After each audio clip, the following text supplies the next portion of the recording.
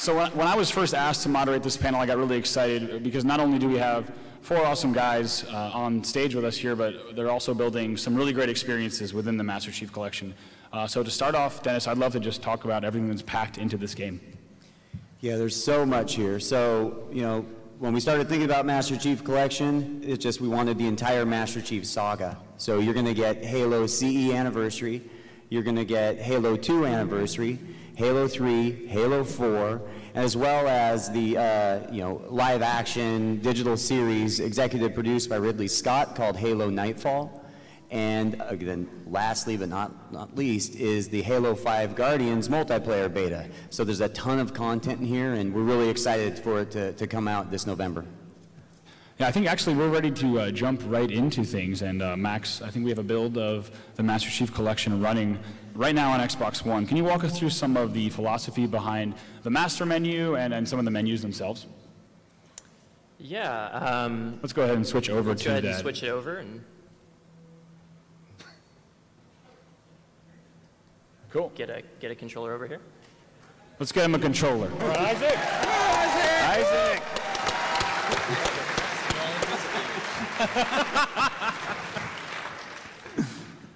Do we have audio? Yes, okay, magic. we're good. Great. Thank you, Andy. So, I want to talk through uh, some of the ways in which we're bringing in nostalgia as well as a unique look for the unified menu for this particular game. So, one of the subtle touches that you'll notice as you browse the menus in the game is you'll get your music cues from each game as you browse Halo 1, Halo 2, And you also notice the backgrounds, again, will be sensitive to the game that you're looking at at the particular time that you're moving through the menu there. So again, they change each time. And this is going to be reflected in each part of the game, so campaigns, multiplayer, and something a bit unique for each one. So just a way we're trying to make the experience of browsing the Master Chief Collection really exciting and uh, bring you some of that nostalgia. Now, we talked about playlists before. I wanted to talk a little bit about the philosophy behind how we thought about some of these playlists. And specifically, we've talked about cross-game.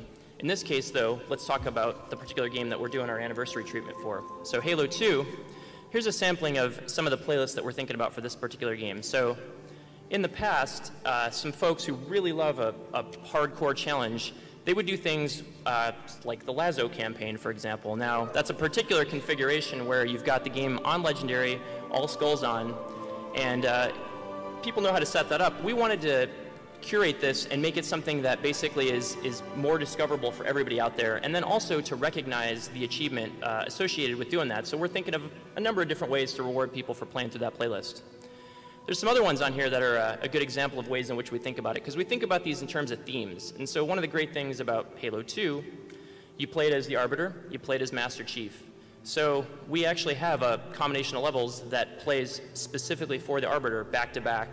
Um, that's a new experience because if you remember in the original campaign, you actually were doing them interspersed from one to the next. So uh, that's a pretty cool way to think about it. And the flip side of that, of course, is the Master Chief journey, which, uh, you know, again, it's those particular chief levels back to back. Now, another collection that we have here is fan favorites, just some of the maps that missions that people particularly uh, enjoyed playing on this one. And there's going to be a variety of these types of playlists that call out basically uh, some of the particular highlights of the game and uh, great moments in them. Now, another key piece to remember for Halo 2 Anniversary is uh, for the first time ever, we're going to have online co-op play through this campaign. Uh, so that's, that's pretty exciting. Yeah, that's pretty cool.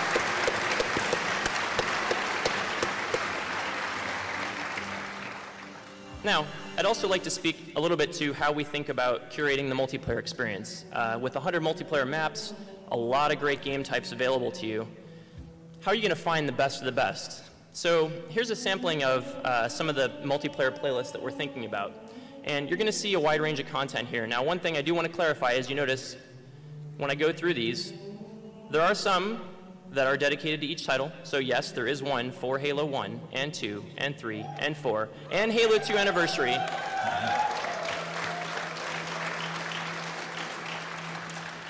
as well as uh, some cross-game ones. And there's a kind of a few different ways we think about these cross-game ones. So in one particular case, we have a very broad range of content here, right? So Team Slayer, this particular uh, multiplayer playlist has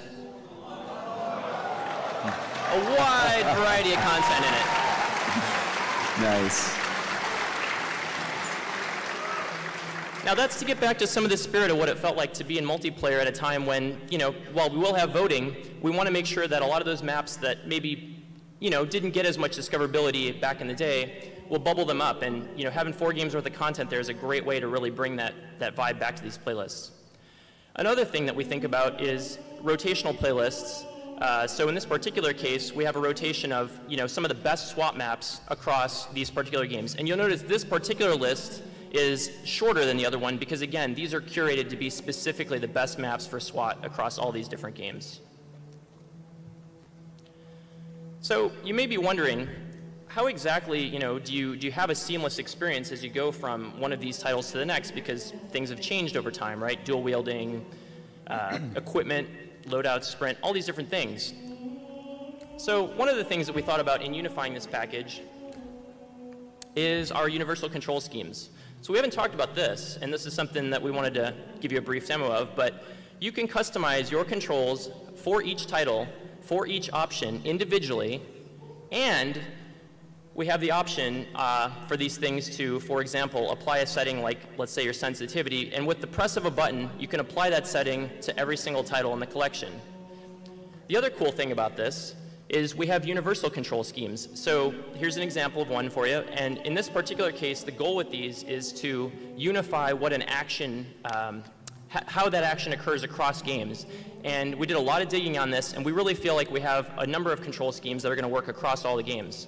That said, again, if you really want to get in there and you know, have a custom one for a particular game, you're always welcome to override that. You can have everything uh, customized per title for all these options, uh, however you like. So that's, uh, that's how we think about that. Awesome. Thank you, Max.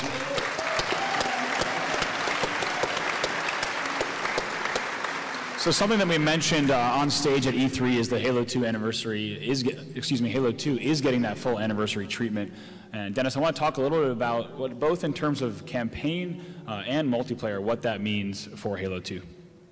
Well, when we thought, started thinking, uh, you know, like the anniversary treatment, we really looked back to Halo 1 anniversary and what did we do there? And right off the bat, from a campaign perspective, obviously you just need to remaster the campaign. So we work with Saber Interactive again, who worked on Halo 1 anniversary, and they're completely remastering all the graphics, and, and it looks incredible. Additionally, we also wanted to do some of the other uh, fan favorite things that were like skulls. We added tons of skulls to Halo 2 anniversary. So yes, exactly. All of, the, all of the existing skulls that were there are still there, but then we added a ton. So there's actually over 30 skulls that are available now in Halo 2 Anniversary. Additionally, we really thought about, you know, the audio. The audio was completely remastered in Halo 1 Anniversary. We wanted to do that again, and we're doing it in a very big way, and I'm excited to talk more about that at Comic-Con, so get excited, because there's some really cool stuff we're doing on the audio side. Additionally, terminals. Now, terminals in Halo 1 Anniversary, we hid them all throughout the game, and then when you'd get to a terminal, you would unlock a video and learn more about the franchise. Well, we're doing a, a lot, you know, a lot of the same thing here, and you're going to be able to, to learn the story, the backstory of the Arbiter. So that's something I think that everyone's going to be really excited. And then also Blur. So in cinematics, you know, telling the, the Halo 2 story, it's just a, very, a ton, a huge story. and there's like over 50 minutes of cinematics. So we contacted Blur Studios, who actually had worked with us before. They, they worked on Halo Wars. So if you're familiar with the Halo Wars cinematics, yeah, it, it's pretty incredible. And Blur has been working with us to remaster all of those cinematics. So they're going to look incredible. Um, as far as multiplayer, really, First things first, we had to make sure we included the original multiplayer, something we didn't do with Halo 1 Anniversary, so we definitely made up for that here, and we included the original multiplayer. Yeah. But we knew Halo 2 was so well known for its multiplayer, we wanted to do something different, something unique. And so we contacted Max, uh, Max Hoberman from there at Certain Affinity, and we asked him for some help. And you know, our, our major goals were number one, we really wanted to expand upon that sort of core Halo 2 experience. Um, we, we wanted to, to make sure that whatever we created was true to how Halo 2 was back then.